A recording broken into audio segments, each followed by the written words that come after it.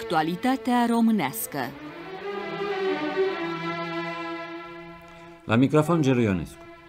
În programul de astăzi al actualității culturale românești veți putea asculta un lung și interesant dialog între Monica Lovinescu și Matei Călinescu în trecere prin Paris în săptămânile din urmă. Virgile Runca va fi prezent cu obișnuita sa revistă a revistelor culturale. Dialogul dintre Monica Lovinescu și Matei Călinescu, cum mulți dintre dumneavoastră știu, profesor de literatură comparată la Universitatea din Bloomington, din Statele Unite, și care va împlini nu peste mult timp 20 de ani de exil, dialogul are mai multe teme, începând cu cele ale peisajului politic actual din România și terminând cu proiectele literare ale lui Matei Călinescu. Fac precizarea că în prima parte a discuției, Matei Călinescu se referă la un text scris în colaborare cu Vladimir Tismăneanu și care între timp a apărut în România, în revista România Literară, numele 20 și 21, text ce se intitulează Revoluția din 1989 și viitorul României. La data înregistrării acestei convorbiri, cei doi nu știau că tocmai textul despre care vorbesc apare și în presa din țară. Un text de altfel foarte interesant, invităm pe ascultător să-l caute în colecția României Literare. Aș vrea să începem prin a vorbi despre ce se poate vorbi decât despre situația din România. Cititorii din țară n-au la dispoziție ultimul eseu pe care Matei Călinescu l-a publicat împreună cu Vladimir Tismaneanu în Problem of Communism, așa că aș vrea să ne spună marile linii ale acestui eseu, ca și părerea lui, aprecierea lui asupra situației din România. Matei Călinescu. Am să încep uh, prin a spune ce cred despre situația din România. Anul trecut, după episodul de barbarie de la 13-15 iunie, am folosit într-o scrisoare către un prieten parizian formula, formula pe care el mi-a reamintit-o recent – un amestec între un stalinism târziu și un fascism timpuriu. Nu știu dacă această combinație explozivă definește neocomunismul despre care se vorbește atât de mult în România, sau dacă această combinație are, metaforic vorbind, un sens mai larg și poate chiar un sens care depășește, din păcate, limitele neocomunismului însuși.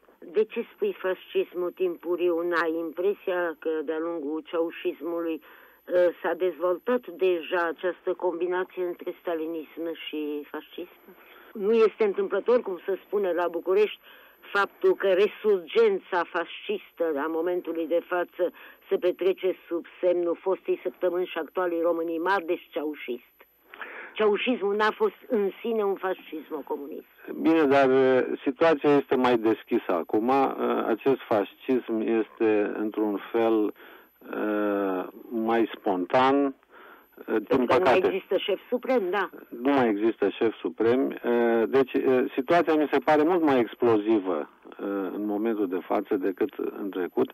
Desigur că formula, arhetipul, aș zice, al acestei situații a existat din timpul lui Ceaușescu. Însă atunci... Spune chiar că a fost creată de Ceaușescu, nu? Și poate a fost chiar creată origin, originalitatea ceaușismului uh, această. Uh, pe de altă parte, acum stalinism, vorbesc de un stalinism târziu, aș pune accentul pe târziu. Un stalinism totuși obosit. Un stalinism uh, care este pe punctul de a se termina. Și de aceea pericolul cel mare la ora actuală mi se pare pericolul acestui neofascism, uh, acestui naționalism uh, extrem, acestui șovinism uh, care, într-un fel, o trăvește viața culturală românească. Și după câte îmi dau eu seama, de departe, de la Bloomington, unde totuși citesc destul de regulat presa românească și o serie de cărți care ajung acolo într-o zi transmisă pe France Culture de la Institutul francez din București, pentru care se deplasaseră de la Paris Alain Finkielkraut și Jacques Julliard.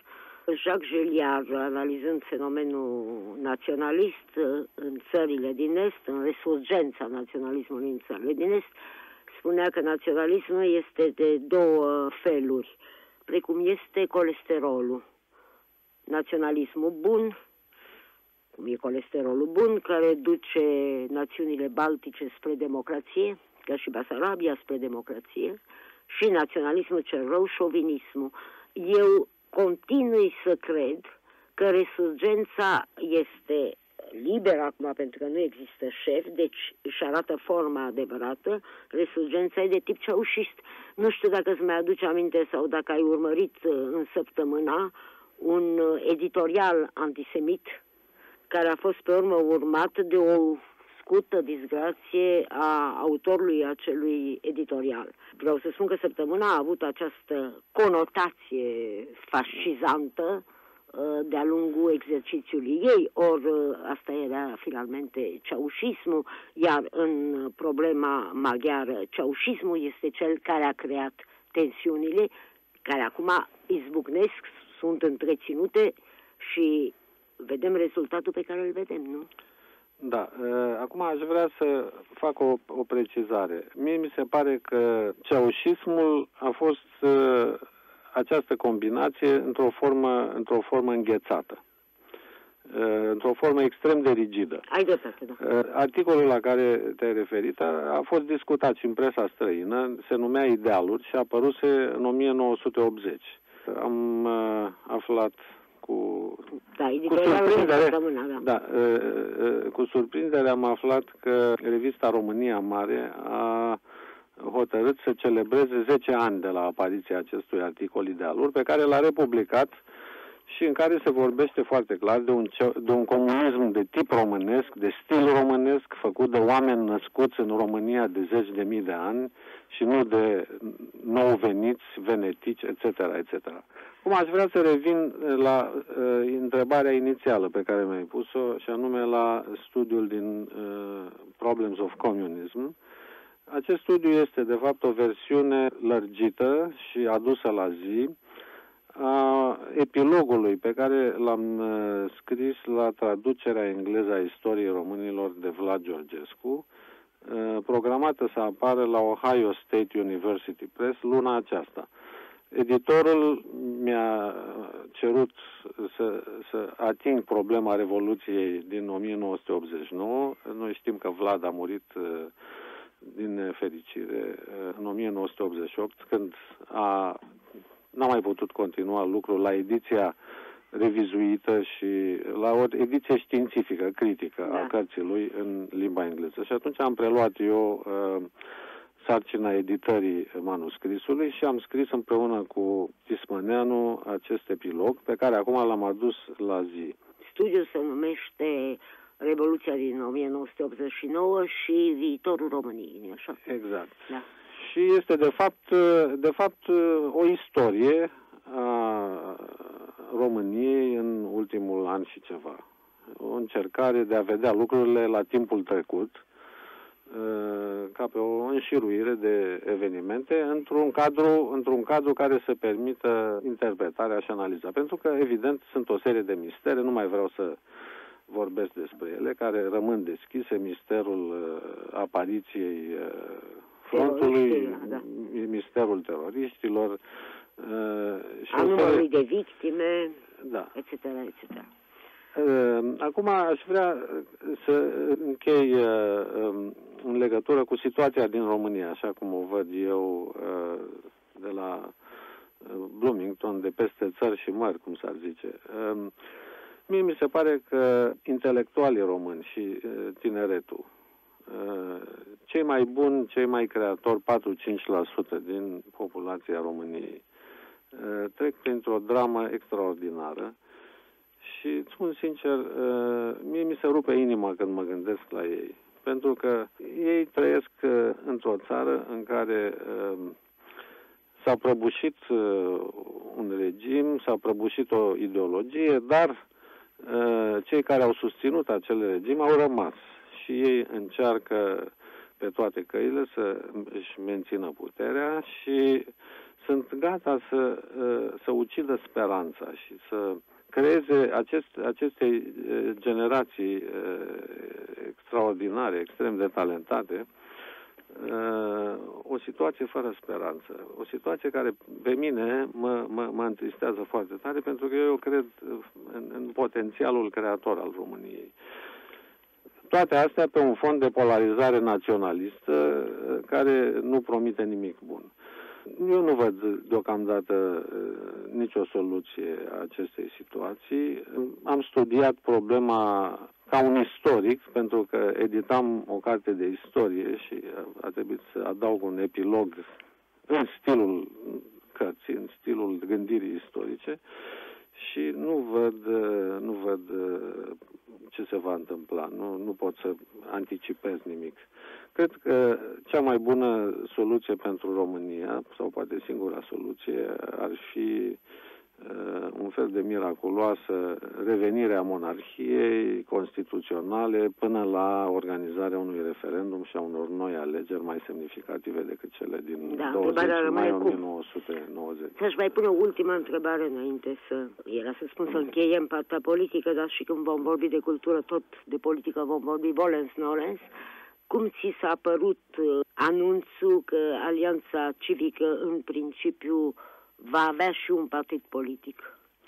Uh, mi s-a părut uh, foarte binevenit. Uh, eu cred că în România, spre deosebire de celelalte țări din estul Europei, inclusiv din sud-estul Europei, mă refer la Bulgaria, opoziția nu a putut să prezinte un front unit programului guvernamental de pseudo-reforme și aș vrea să accentuez pseudo, deci este foarte bine că Alianța Civică devine un, un partid politic și sper că va fi un partid politic suficient de flexibil ca să creeze o unitate a opoziției în viitoarele alegeri. Și acum să facem apel la Matei Călinescu, critic literar, cu toate că nu vei fi citit numai literatură și te voi întreba tocmai ce ai citit în vremea din urmă la Bloomington. Uite, interesant că după Revoluția din decembrie 89, interesul meu pentru, pentru literatura română a reînviat și cu prilejul unei invitații de la revista World Literature Today, de a scrie un articol pentru ei despre literatura română. Ei prepară un număr despre literaturile est-europene, un, ungară, ceoslovacă, poloneză, lituaniană, estoniană, letoniană, etc., etc. Uh, am scris acest uh, articol și cu ocazia asta am meditat asupra situației literaturii române. Am citit cu mare plăcere volumul de proză Visul al lui Mircea Cărtărescu și, bineînțeles, Levantul, care este o carte încântătoare, din păcate intraductibilă. Dar visul e traductibil. Visul e traductibil. Și pe care de traducere în Franța, dar Mă bucur da. să aflu asta. Uh, am citit, uh, am urmărit, uh, cum spuneam și înainte, uh, presa românească uh, cu deosebită admirație analizele politice foarte lucide ale lui Nicolae Manolescu din România Literară, din rubrica Ochiul, Ochiul Magic. magic da. Uh, mă miră bunul simț, uh, uh, capacitatea de a gândi limpede a cuiva într-un climat de confuzie atât da, de mare ca în România. Da, și un fel de radicalizare a lui Nicolae Manolescu, care a început prin a vrea să mențină doar estetic în revistă și care încetul cu încetul s-a angajat totuși în acțiunea politică și s-a angajat cu foarte mult sos de izbândă pentru că s-a angajat cu foarte multă luciditate. Cu foarte multă luciditate. De asemenea, uh, urmăresc cu, cu mare interes revista 22, o serie de alte publicații ale opoziției, inclusiv ziarul România Liberă, care vin toate uh, la biblioteca din Bloomington, care este o excelentă bibliotecă urmă am mai citit o serie de cărți. Uh, aș vrea să menționez uh, pentru interesul lor uh, istoric și moral cartea lui Ioan Egoițescu, în cunoștință de cauză, apărută la editura Dacia anul trecut. Și care grupează, care grupează textele, textele politice mai mult. Textele politice ale lui Negoițescu, începând cu manifestul uh, Cercului din Sibiu din uh, timpul războiului, adresat lui Eugen Lovinescu sub forma unei, unei scrisori deschise și, și, continuând, și cu, continuând cu, cu scrisoarea către Paul Goma și continuând cu o serie de interviuri mai recente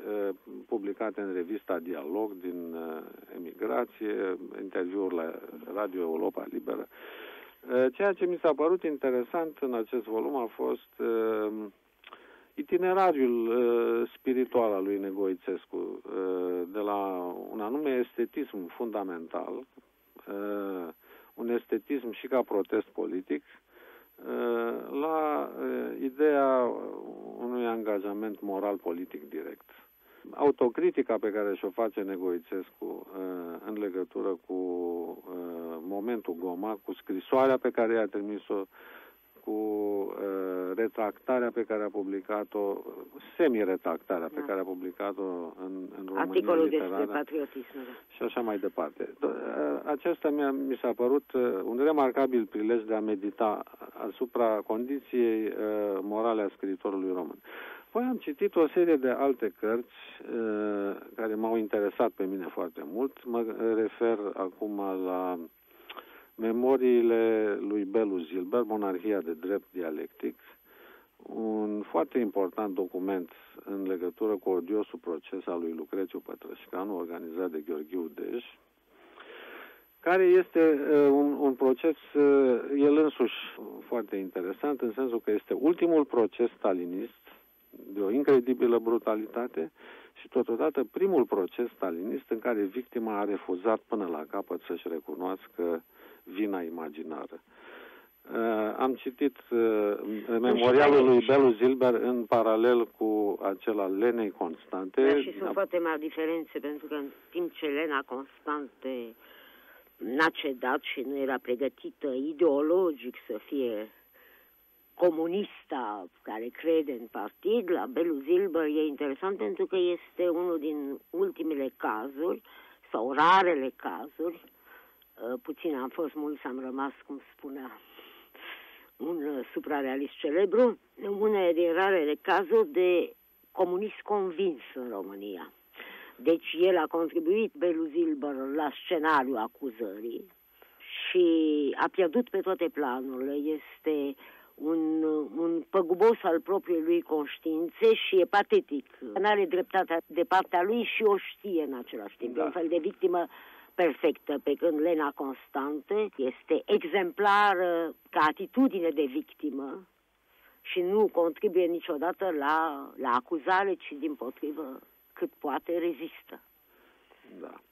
Acum, ceea ce mi s-a părut important la Belu Zilber e că aici avem mărturia unui, unui comunist convins la fel de convins ca Arthur London, de pildă, în cartea sa Mărturisirea, um, un com- comunist care citise pe uh, Köstler, care cunoștea uh, uh, Darkness at Noon sau Le Zero et l'Infini, care cunoștea, care cunoștea scenariile, care știa și care uh, uh, a jucat uh, acest rol. Acum, Ceea ce este extrem de interesant în, în această carte, mai ales în prima parte, prima ei parte, care se referă la procesul Pătrășcanu, Evident că știu și istoria manuscrisului. Prima versiune, care era mult mai complexă, a fost confiscată de securitate. Uh, aceasta Noi avem în fața a doua a versiune. A doua versiune cu anumite uh, lacune. Cu lacune și, și cu un Belu Zilber mai cu oarecum obosit. Foarte Așa. bine scrisă de alminte, însă cu un Belu Zilber care câteodată e plictisit să repete niște lucruri pe care le-a spus deja. Da. Însă cred că este o mărturie care ar merita să fie cunoscută, mai ales în legătură cu uh, procesul lui Lucrețiu Pătrășcanu și mă gândeam să propun această carte unei edituri universitare americane, poate cu o prefață istorică care să prezinte uh, cazul Pătrășcanu. Un și caz deci, unic în... Și deci cu cartea Lenii Constante? Uh, care e cealaltă față a procesului Pătrășcanu? Poate că și cartea Lenei Constante, da. da. Uh, însă, într-un fel, Belu Zilber ar prezenta aici paralele cu Arthur London, cu da, Köstler, da. cu uh, Rubashov, al lui, da, cu foștii comuniști. Cu foștii comuniști. Pe când Lena Constante este o victimă inocentă de la început, da, care, nu are, da. care nu are ideologie, care nu, nu are scenarii, care nu, nu crede și care este uh, torturată într-un mod, uh, într-un mod uh, îngrozitor. Și care rezistă într-un mod extraordinar. Și care rezistă într-un mod extraordinar pentru că este un om cinstit un om care nu are uh, uh, scenarii justificative, care nu uh, are un sistem dialectic la îndemână prin care să justifice uh, orice. Până am citit uh, uh, iarăși cu, cu mare bucurie uh, jurnalul fericirii al lui Nicu Stein, Steinhardt.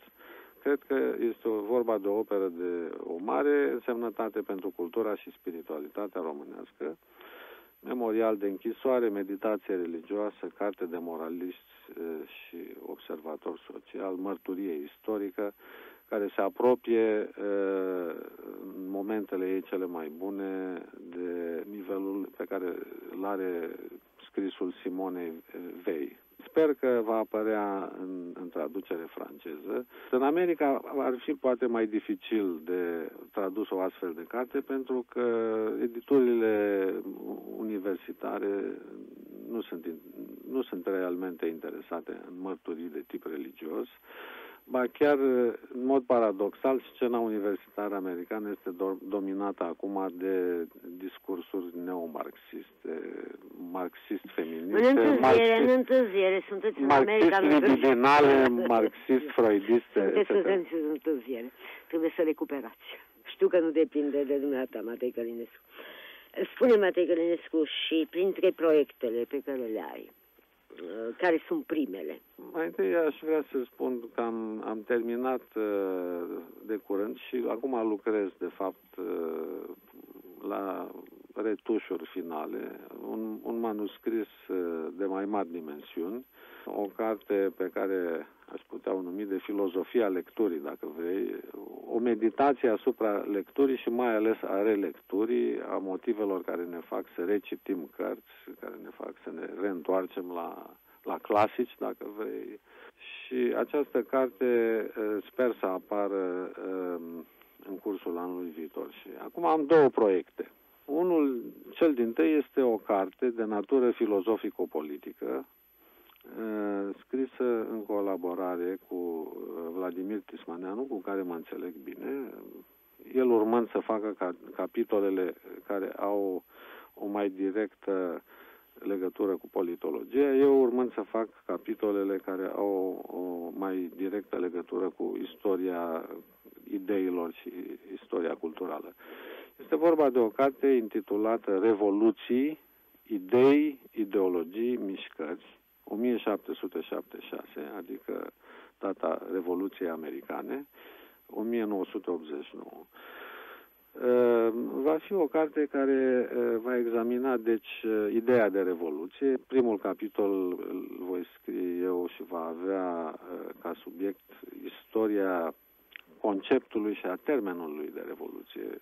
Deplasarea semantică, nu de la revoluțiile cerești ale lui Copernicus la uh, uh, răsturnările sociale uh, catastrofice, apocaliptice din societatea umană. O, o mică întrebare. Ai citit, bineînțeles, presupun, sociologii de la Revoluția lui Monroe sau nu? Da, da, da. am citit-o mai de mult. Are, da, da.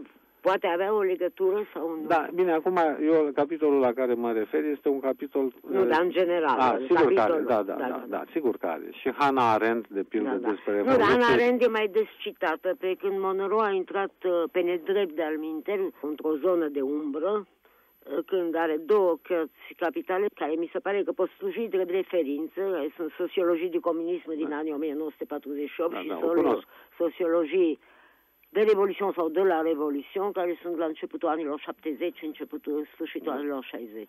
Monroe va eh, fi discutat, în, da, mod da, sigur, da. în mod sigur.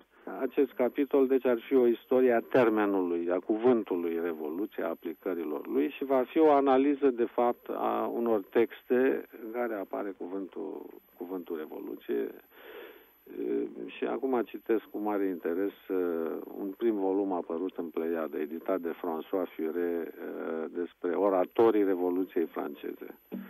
Și notez anumite pasaje care... Și citești probabil și lucrarea lui ultimă despre Revoluția franceză privită dans la longue durée, ca să spun da, așa. Da, da, da. da, da, da, bine. François Furet, de altfel, este un foarte mare istoric francez, influențat de istorici englezi.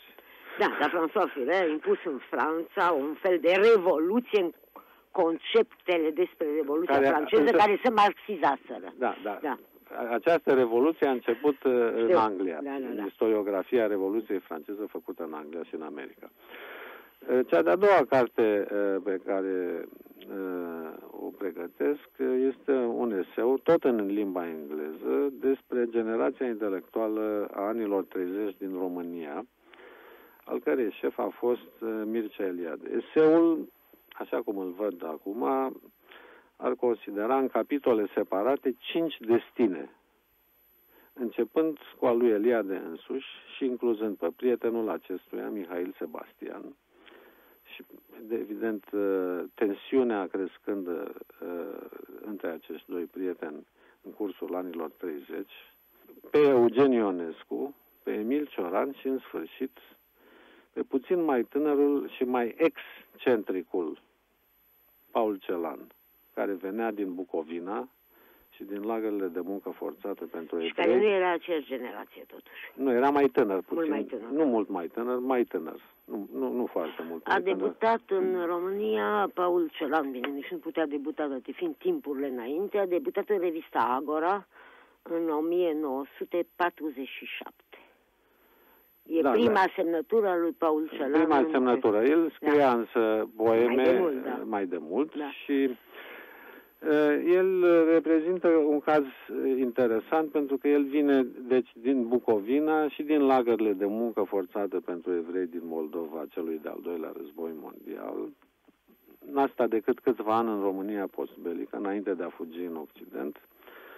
Ehm, dar, dacă vrei, există o legătură, să zicem, de tip eh, anecdotic între el și generația asta, pentru că Eh, el este primul traducător al lui Cioran. El a tradus în limba germană. Ăsta s-au petrecut mult mai târziu la Presidiu de da. compozițion, da, l-a tradus în 1950, la da. un an sau un an și ceva de la apariția în limba franceză. Uh, aceste cinci destine uh, vor prilejui alte capitole de uh, istorie culturală în care uh, vreau să analizez uh, polarizarea ideologică care s-a produs în România anilor 30 uh, între dreapta și stânga, între mișcarea legionară și mișcările mult mai slabe, de fapt.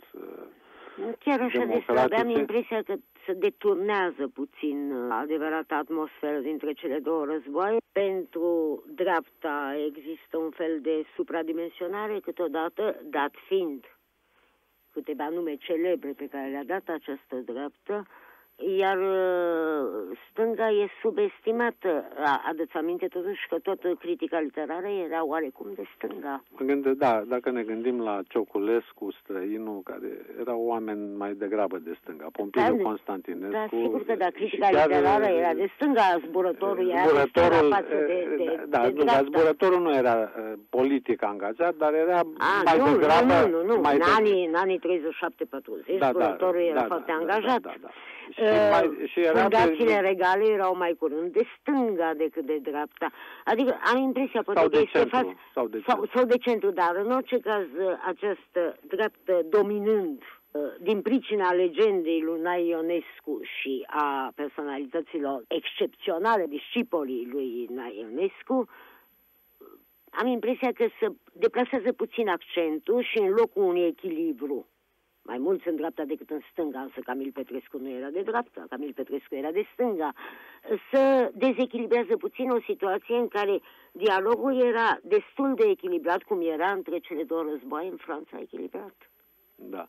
Eu vreau să analizez această situație uh, foarte de aproape. Uh, din păcate, nu avem prea multe uh, documente, nu dispunem la ora actuală de o biografie critică serioasă a lui Nai Ionescu de care ar fi nevoie. Nu dispunem de o istorie serioasă a mișcării legionare. Totul a fost falsificat timp de 45 de ani. Deci, într-un fel, este o situație foarte complicată din punct de vedere documentar, istoric.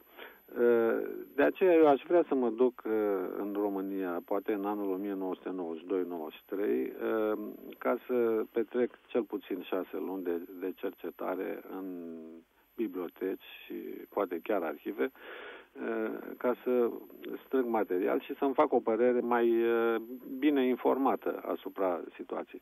Evident că ai dreptate că se poate exagera uh, importanța dreptei Nu, dar să nu te privea, dar în general dar... se exagerează în clipa de față, da.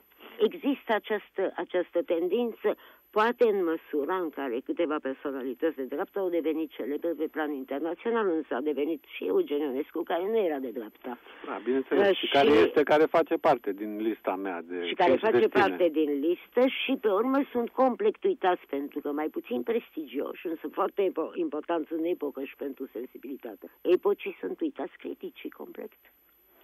Da, bine, eu acum scriu aceste nu, în engleză erau... pentru un cititor englez. Și deci nu, nu. pe critici da, nu da, nu, pot introduce. Nu, nu, dar vorbesc de peisajul cultural și nu era un reproș pe care ți-l făceam. Da, da, e da, da. o constatare pe care o tot constat în ultimii ani în această redare a configurației literare, culturale românești dintre cele două războaie rămâne să te așteptăm cu unul din proiecte publicate sau poate chiar înainte de publicarea unuia din proiecte, vei fi totdeauna binevenit și îți mulțumesc, Matei Călinescu. Urmează revista revistelor culturale semnată de Virgilie Runca. Două interviuri, unul în România literară, altul în România liberă, ne îngăduie mai bine situarea lui Mircea Cărtărescu față de sine, față de literatură și chiar față de societate. Câteva evidențe pe care încercăm să le subliniem. În primul rând, credem că nu exagerăm, văzând în autorul Levantului pe cel mai cultivat poet din generația tânără. Deși cultura lui nu este ostentativă, nici măcar prea transparentă, ea stă la temelia spusului care se articulează în ritmuri înnoitoare, într-o certă aventură a spiritului. Cultura asimilată de Mircea Cărtărescu, altă caracteristică, e mereu deschisă formelor modern contemporane, întregind astfel straturile clasice, depozitul referențial.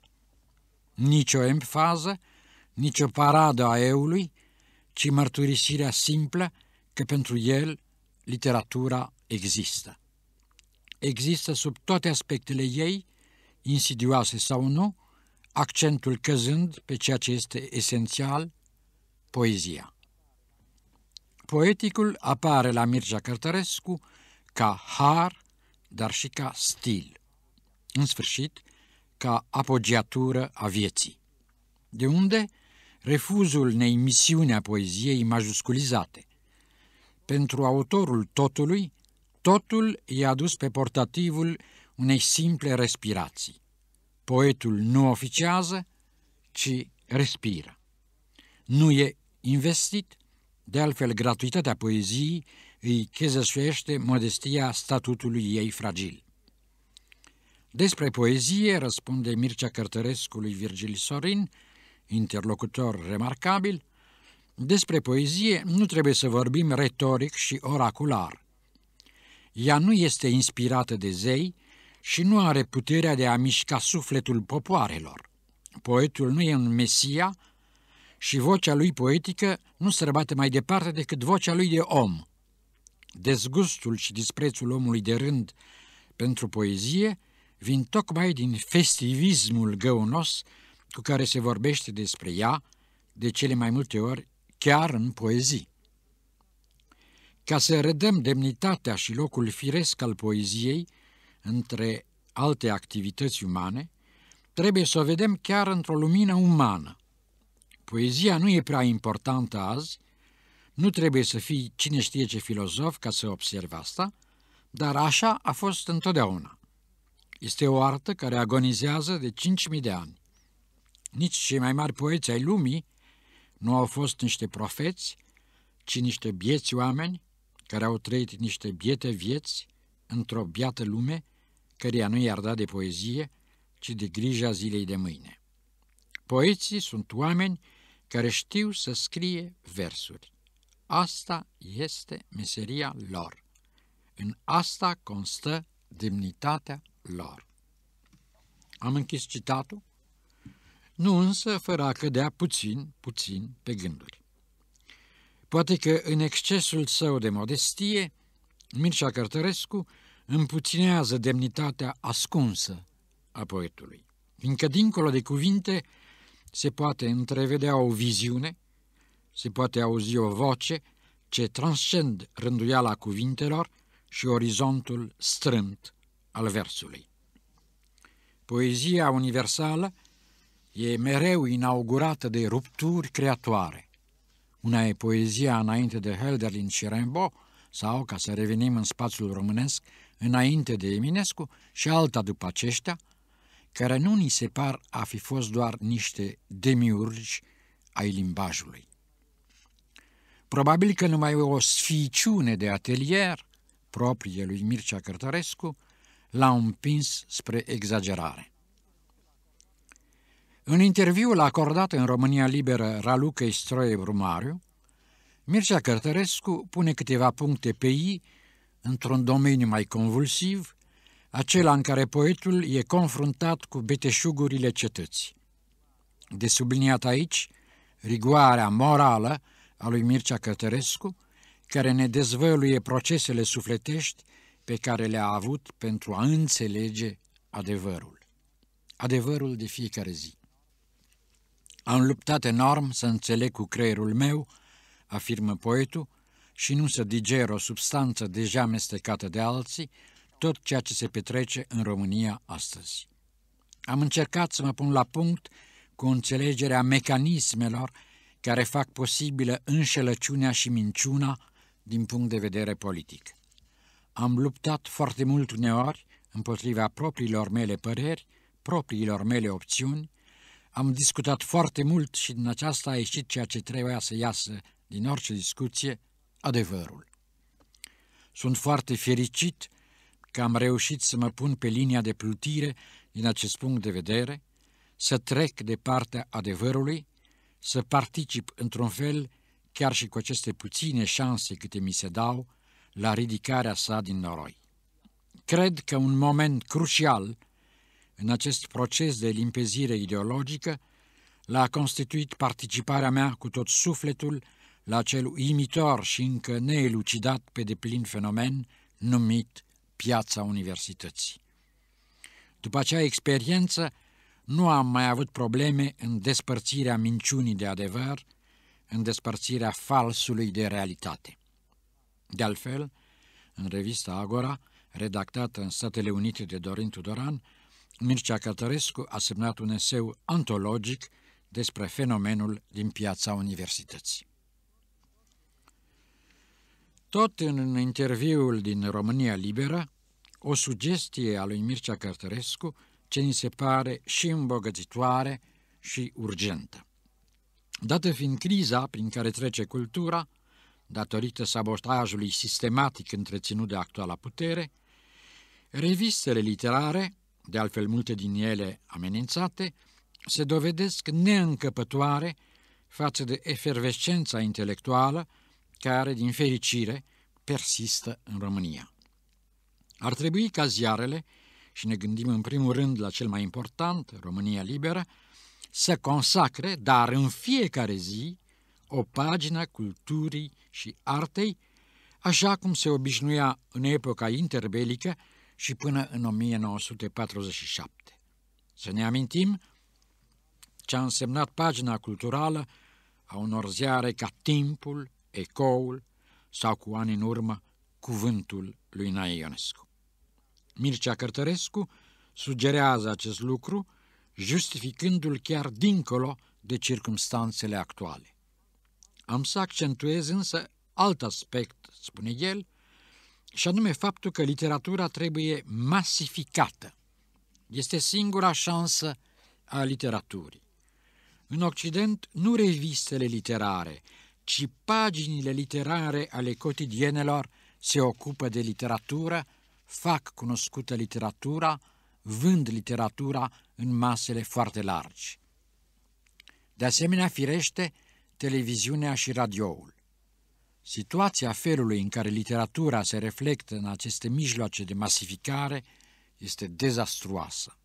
Emisiunile televiziunii române, care se ocupă de literatură, sunt sub orice critică, după părerea mea, nu fac decât un deserviciul artelor și literaturii și, chiar cu părere de rău o spun, paginile literar-culturale ale marilor ziare sunt cu totul neconcludente.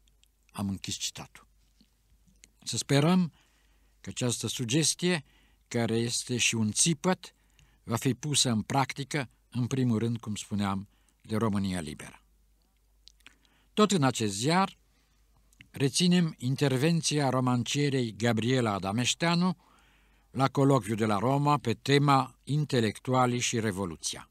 Se intitulează Diversitate și dezbinare și constituie o analiză lucidă a culturii românești la vremuri de cumpănă.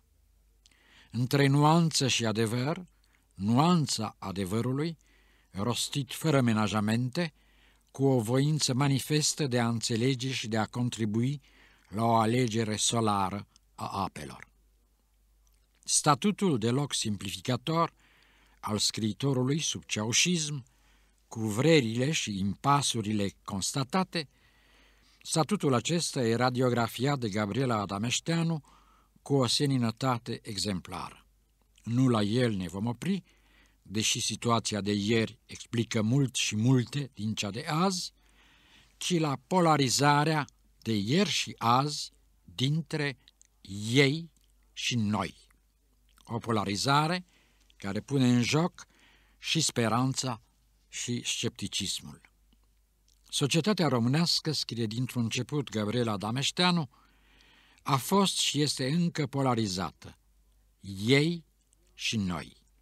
Ei care au accedat sau au rămas la putere, o rețea trainică, țesută timp de decenii, până la ultimul colț al țării, o sinteză între un sistem mafiotic, unul feudal și unul tribal, o întâlnire între tipologii asemănătoare și interese identice. Cu sonorități znoabe acum un an, termenul de nomenclatură s-a banalizat între timp. El acoperă însă rezultatul antiselecției și autoritarismului care reproducea în mic modelul Ceaușescu și al familiei până în ultimul sat, până în ultima instituție. Între noi și ei, spațiul întrebărilor esențiale pe care Gabriela Adameșteanu și le pune cu un fel de patetism al responsabilității. Dacă nu ne înșelăm, nimeni nu a subliniat, cum s-ar fi covenit, faptul că revista Ieșeană, Convorbiri Literare, are un cronicar literar de primă mână, apărut în perioada post-revoluționară, Gabriela Gavril. E important deoarece acest domeniu al cronicii literare menține o bună tradiție de la noi. În Occident, cronica literară a și dispărut. Nimic improvizat în comentariile critice ale Gabrielei Gavril. Din potrivă, spirit de finețe, cultură, gust, talent expresiv. Un exemplu. Prezentarea ultimului volum de poeme a lui Dan Laurențiu, Călătoria mea ca martir și erou al timpului. După ce observă că în volumele sale precedente, poetul cultiva strategic o ambiguitate spornică, pedulând între Dionisiac și neliniști subtextuale, Gabriela Gavril insistă asupra faptului că de data aceasta, în noul său volum, Dan Laurențiu privilegiază sensurile secunde, existențial negre. Obsesiile rămase în întuneric, scrie Gabriela Gavril, ies de data aceasta la iveală fie și alterând ceea ce le-a acoperit. Eroticul devine din ce în ce mai mult un simplu pretext, o mască ascunzând desfășurarea ritualelor tanatice. Orice gest aparent inofensiv poate aduce o răsturnare de sens, orice mișcare poate urmări în structura poemelor această trecere de la cunoscut la necunoscut, de la un sens ce a devenit nemulțumitor la un al doilea sens neașteptat. Versurile lui Dan Laurențiu se desăvârșesc pe măsură ce distrug schema erotică, dându-i o cu totul altă valoare. Oboseala, seducția bolnăvicioasă a morții, istovirea se insinuează pe nesimțite în structura cunoscută a poeziei de iubire, alterând-o. Imaginile își schimbă tot sensul, poeme diferite scriindu-se cu aceleași cuvinte. Ca și Bacovia, Dan Laurențiu își va imagina întâlnirea mult dorită ca amant nerăbdător al femeii negre. Își va imagina întâlnirea mult dorită cu Himera, dar în același timp va întârzia cât mai mult cunoașterea fericirii, a coborârii în infernul devenit într-o dată primitor, în tenebrele râvnite. Registrul imagistic al acestor puneri în scenă nu este foarte bogat.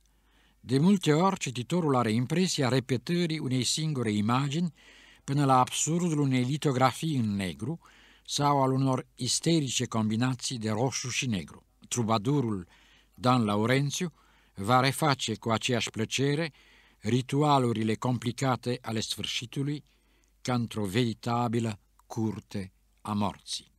Am închis citatul din Gabriela Gavril. Și pentru că suntem la capitolul poeziei, să mai semnalăm în încheiere un adevărat document literar pe care îl publică în viața românească Florența Albu. E vorba de poezii interzise de cenzură sau de vechi responsabili ai revistei. Respinși, victimele, sunt poeți reprezentativi. Dimitrie Stelaru, Ana Blandiana, Gabriela Melinescu. Cum Dimitrie Stelaru a fost oarecum uitat după moartea lui, vom cita două din poemele sale, care văd acum lumina tiparului grație Florenței Albu ne aflăm într-o perioadă fastă a poeziei lui Dimitrie Stelaru. Golanul liricii fantaste se întoarce la uneltele din tinerețe, parcă mai înghețate de nefericire, ca în acest poem intitulat M-am învelit. Am trecut prin văile și dealurile tale, m-am învelit cu fluvii de lună, cu flacările buzelor tale. Unde să mai alerg? Împărații au vetre, aur și pasnici. Noi suntem pasnici artei noastre. Noi omorâm visul și el ne scaldă ochii. Moare și într-un aviu. Să nu-mi dai umbra altor umbre. Primește-mă și taci ca un zeu nou. Toate au înghețat. Mari cum erau, sunt mari drumurile, își murdăresc oglinzile cu sânge biped și anvelope. Statuia tace de trei ori, nici musățelul nu e filozof când râde peste ruinele Sodomei. E goia pe terasa de argint a mării? Nu, umblă botul fiarei încă poet blestemat, pe linia unei tradiții bogate în umbre și sfâșiere, Dimitrie Stelaru veghează la intrarea iadului ca în următorul poem Îmi duc umbra. Opt umbre sub așternut, mai mari fără relief, veghez somnul hoț, eu în vii, înșel viespile cu struguri pracopți. Să iau o umbră cu mine? În ea să mă prefac la intrarea iadului? Îmi duc ramura albă aici și dacă e noapte, mai visez sunetul. Încheind programul Actualității Culturale Românești, Gelu Ionescu vă invită să ne regăsiți săptămâna viitoare. Aici Radio Europa Liberă.